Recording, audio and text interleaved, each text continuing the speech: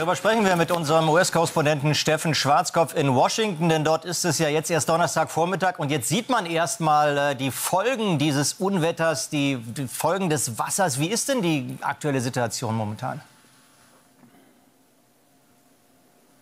Ja, also es ist fast ein wenig paradox. Inzwischen scheint in New York die Sonne wieder, auch hier in Washington, wo der Sturm oder die Ausläufer von Hurricane Ida ja am gestrigen Abend äh, durchgekommen sind. Auch hier übrigens in einer Vorstadt äh, von Washington DC ein Todesopfer zu beklagen. Insgesamt übrigens äh, jetzt in New York und New Jersey ähm, mindestens neun Tote, so heißt es. In New Jersey wurde eine weitere Frau gefunden, ebenfalls ertrunken in ihrem Keller. Und das ist wirklich das Bemerkenswerte an diesem Sturm und an diesen Wassermassen. Das zeigt, wie schnell das Ganze gestern Abend und in der Nacht in New York vonstatten gegangen ist, dass Menschen es nicht geschafft haben, aus ihren Kellern beispielsweise herauszukommen, weil das Wasser äh, da wirklich hektoliterweise innerhalb von Sekunden hineingelaufen ist. Ähm, und äh, auch zwei Gebäude sind teileingestürzt in New York, Bäume sind umgerissen worden. All das zeigt, dass äh, das Ausmaß äh, zwar befürchtet worden war, aber dass die Menschen sich offenbar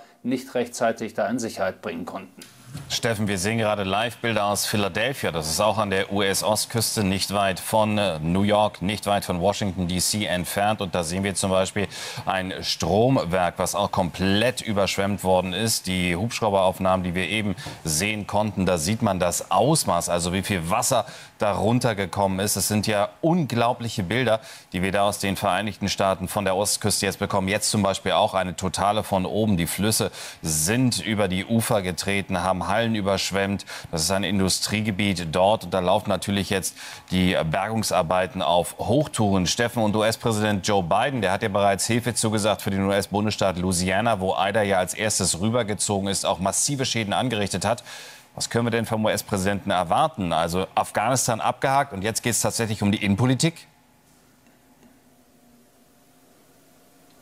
Das mit Sicherheit. Joe Biden wird äh, morgen im Übrigen nach Louisiana, nach New Orleans reisen, um sich auch dort die Schäden anzuschauen. New Orleans immer noch größtenteils ähm, ohne Strom und auch andere Teile von Louisiana und von Mississippi. Jetzt natürlich Hauptaugenmerk auf New York vor allem.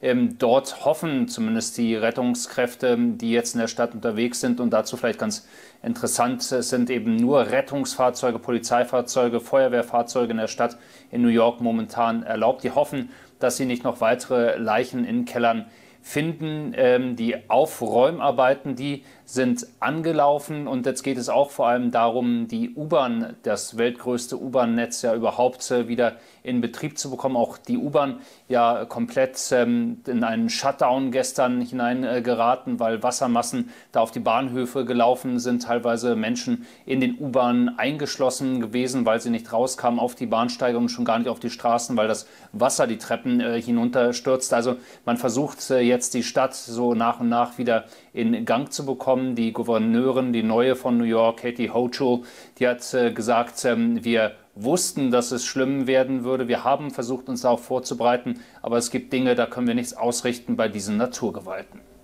Steffen, danke für diese Einordnungen nach Washington. Wir sehen hier noch einmal die Live-Bilder eben auch während der Einordnungen von Steffen, die wir dort sehen konnten. Unfassbar der Zustand an der US-Ostküste.